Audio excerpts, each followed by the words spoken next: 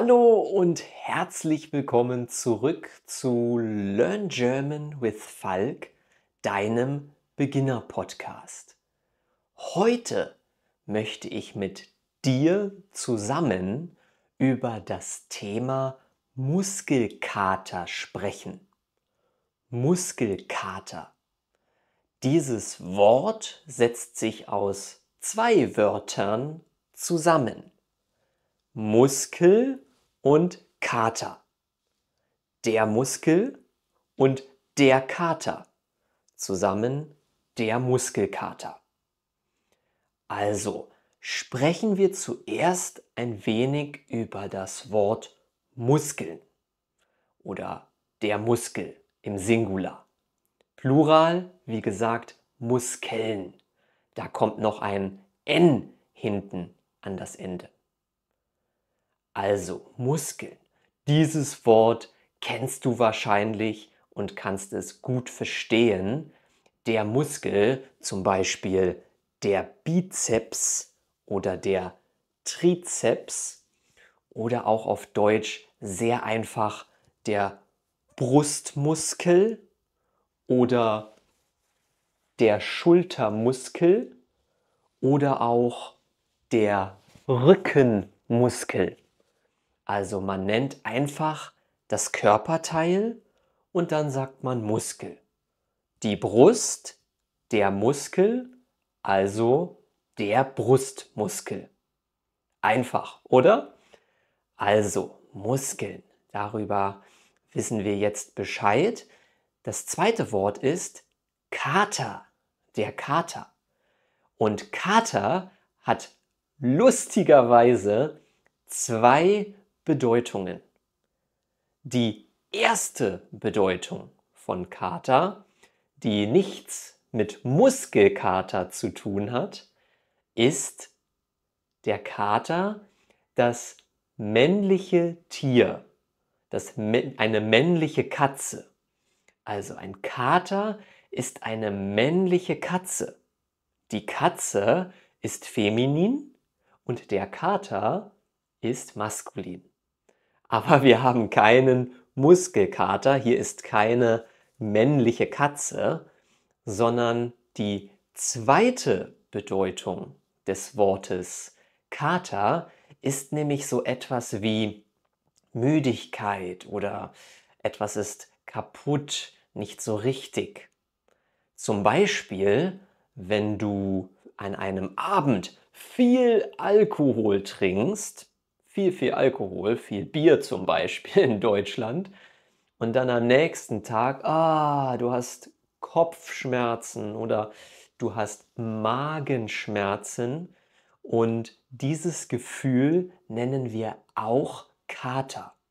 Also ein Kater kann auch ein Gefühl ja, der Müdigkeit oder ein Gefühl sein, dass etwas nicht 100% in Ordnung ist, ein bisschen kaputt ist.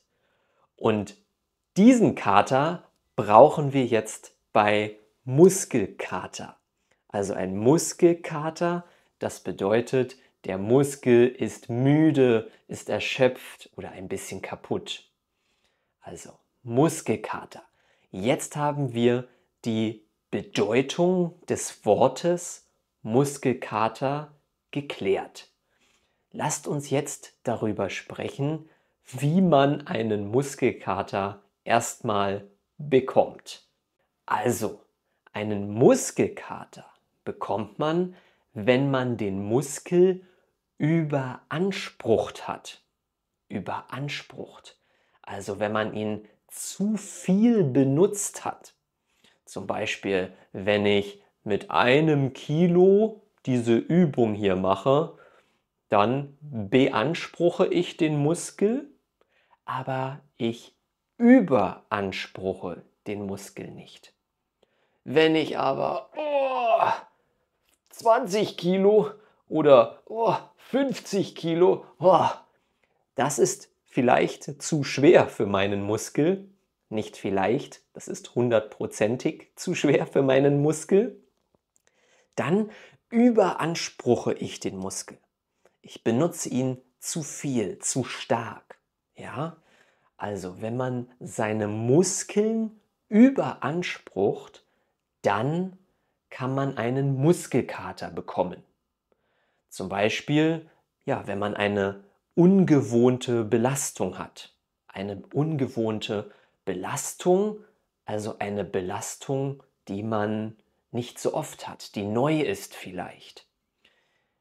Ein klassisches Beispiel ist, wenn man lange keinen Sport gemacht hat und dann sofort eine Stunde joggen geht, dann wird man hundertprozentig am nächsten Tag einen Muskelkater in den Beinen haben.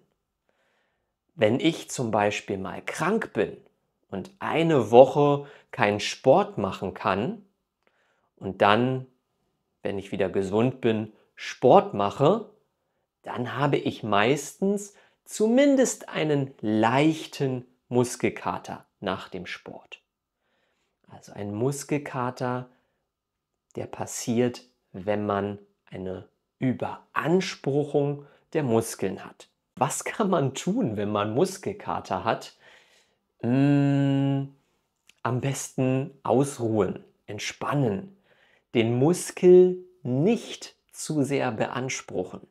Was ich immer gerne mache, ist zum Beispiel ein heißes Bad nehmen.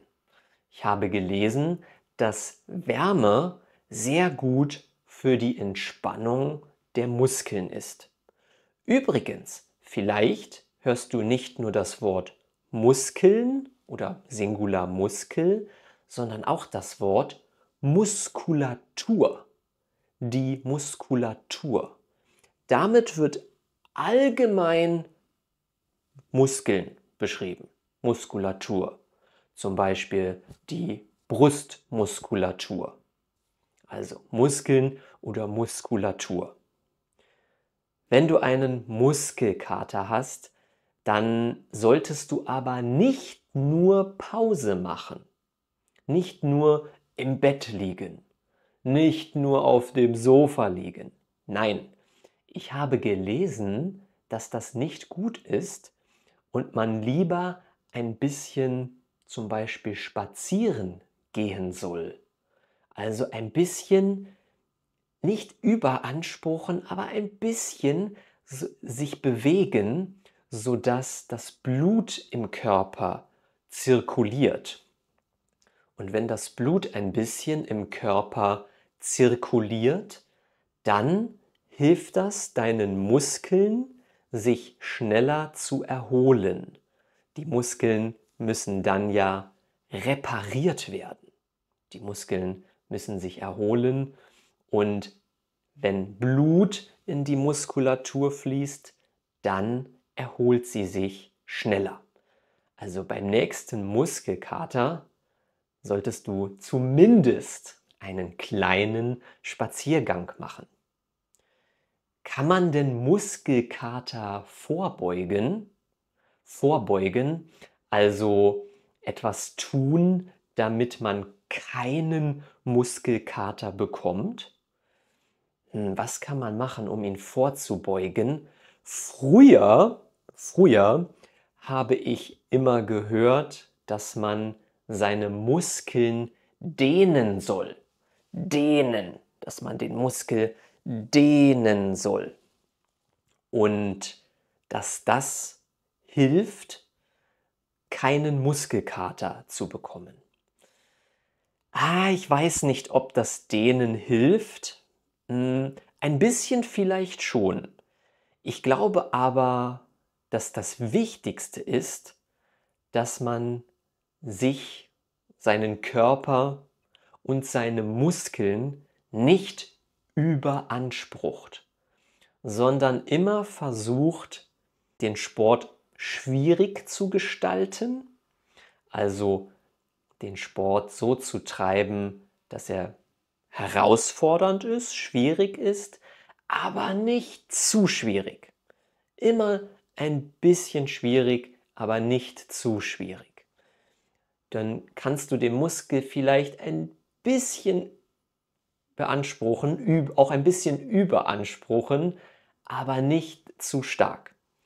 Und wenn du dich dann in kleinen Schritten steigerst, also jedes Mal zum Beispiel, wenn du joggst, ein bisschen schneller joggst oder mit dem Gewicht ein bisschen mehr Gewicht mit jedem Training, dann kann der Muskel sich an diese neue Beanspruchung, die neue Belastung anpassen.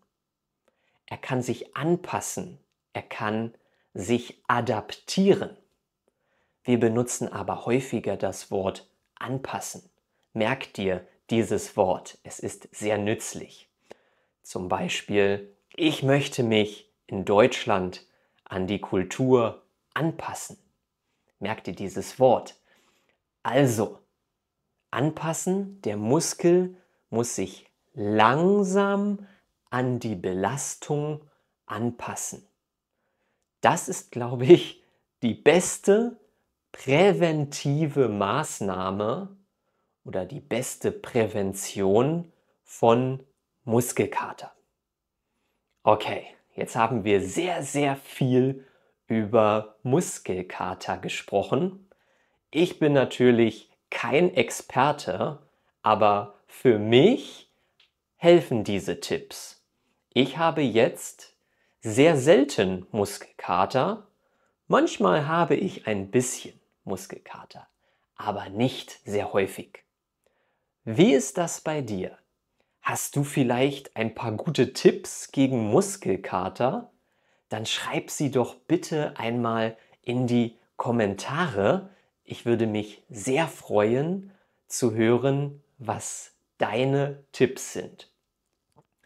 Falls du den Kanal noch nicht abonniert hast, dann klicke jetzt unbedingt auf den Abonnieren-Button, damit du kein Video mehr von Learn German with Falk verpasst.